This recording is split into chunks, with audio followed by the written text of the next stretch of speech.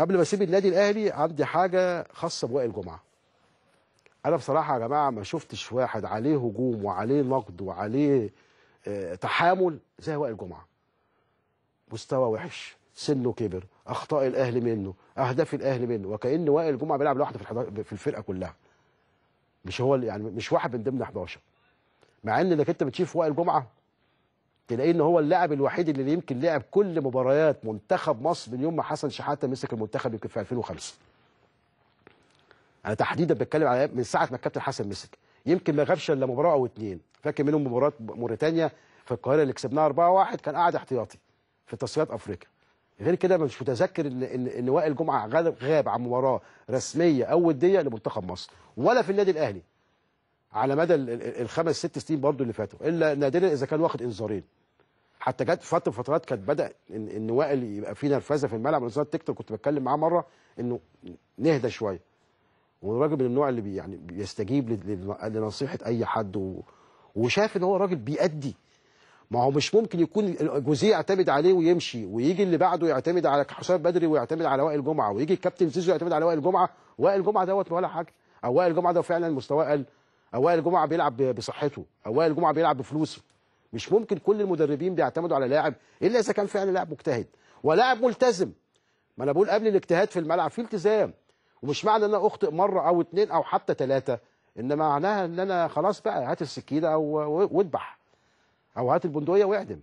أنا بقول رفقا بوائل جمعه سواء كان بقول من جماهير الأهلي أو من بعض الأقلام اللي بتنتمي للأهلي أو للإعلام الأحمر رفقا بوائل جمعه وائل جمعه ما يستحقش اللي إحنا بنعمله فيه لأن أنا شايفه واحد من من اللعيبه اللي هم بقى بمعنى كلمة رجالة. واحد يقول يا عم الكلمة دي بقى خلاص بقى يعني هو راجل ويقعد يلبسنا في أخطاء ويلبسنا في الحيطة وأهداف وبتاع. لا. وائل جمعه حتى هذه اللحظة أنا أعتقد إنه شايل دفاع منتخب مصر ودفاع النادي الأهلي. حتى لو كانت في أخطاء هو ممكن يتحمل جزء منها والجزء الاكبر بيتحمله الآخرين. وده شيء وارد. أنت حتى لو بتتكلم على برشلونة اللي مكسرة الدنيا روح شوف آه، بيول ولا اندريه بيكي جنبه هتلاقي برضه في أخطاء. وبعدين أنا النهارده في حاجة كمان غريبه. أنا ليه النهارده كل ما أجي اتكلم على وائل جمعه اتكلم على السن؟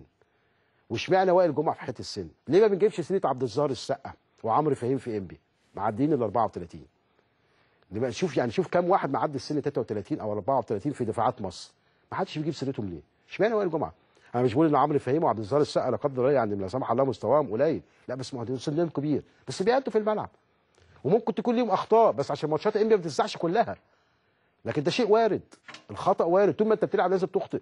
لكن المهم إنك أنت الشكل العام شكله إيه؟ المستوى العام شكله إيه؟ التزامك شكله إيه؟ روحك في الملعب شكلها إيه؟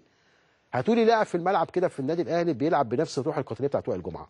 مع احترامي لكل ال 25 أو 24 لاعب اللي ممكن يكونوا لعبوا على مدى من أول الموسم. عايز روح قتالية وأداء في الملعب زي زي وائل جمعة. فالنهاردة يعني أعتقد إن هو بقى يعني بقى شيء اوفر قوي.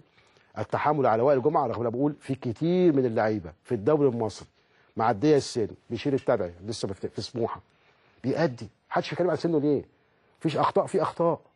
لكن أهم حاجة يعني احسب لي عدد الأخطاء أو عدد السيئات الكروية قدام عدد الحسنات الكروية. شوف ايهما أرجح ايهما أكتر.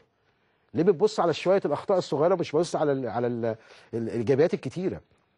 مش هقول بقى حكاية الكوب الفارغ والنص والكلام ده كله يعني. يعني